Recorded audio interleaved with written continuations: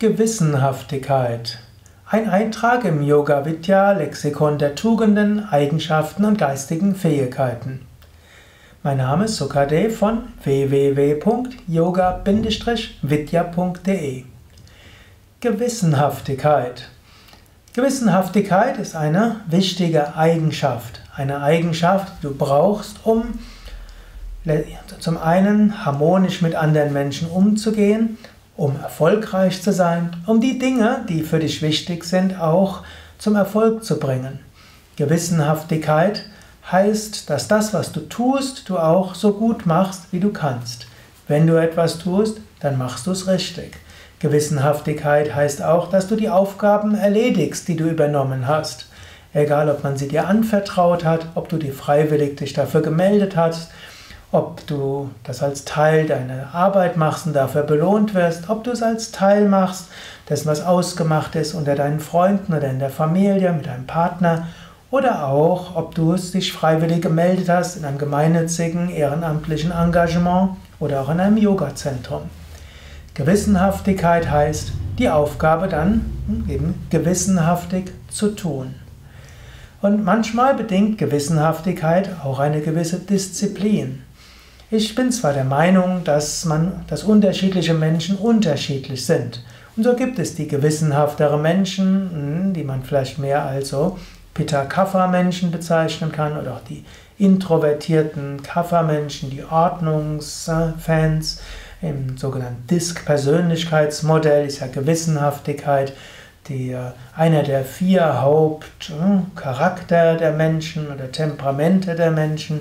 Hm, aber und es gibt eben solche, die mehr locker flockig sind, die Vata-Menschen, wie wir im Ayurveda sagen, oder die ja, I mit hohem I-Menschen in diesem Disk-Modell, die Initiativen, die Leichten, die tausend Ideen haben und dieses und jenes und so weiter.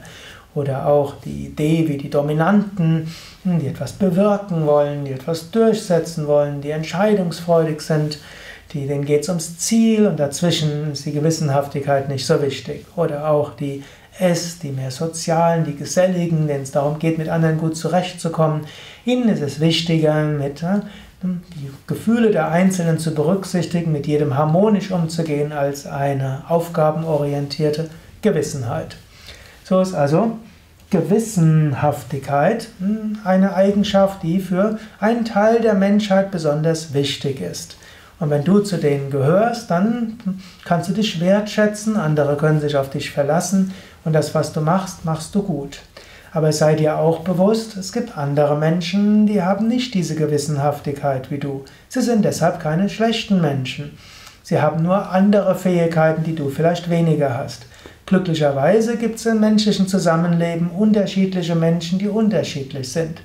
Wenn Menschen sich gegenseitig wertschätzen für ihre besonderen Eigenschaften und nicht versuchen, dass jeder so ist, wie man selbst ist, dann funktioniert es gut zusammen und es ist auch sehr effektiv.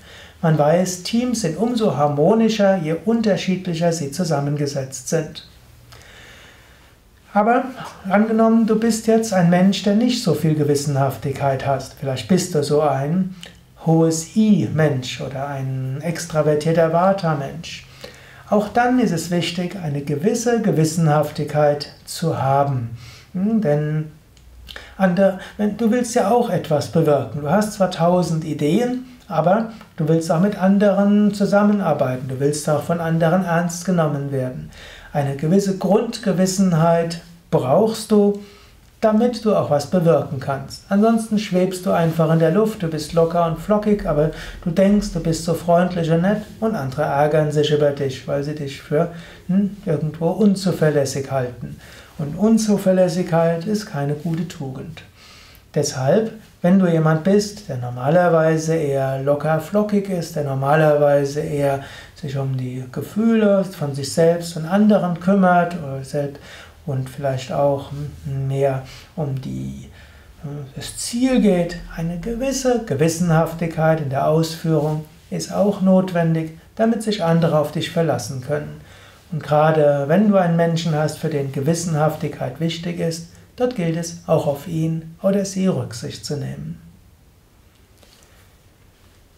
Das sind einige Gedanken zur Gewissenhaftigkeit Mein Name Sukadev von www.yoga-vidya.de.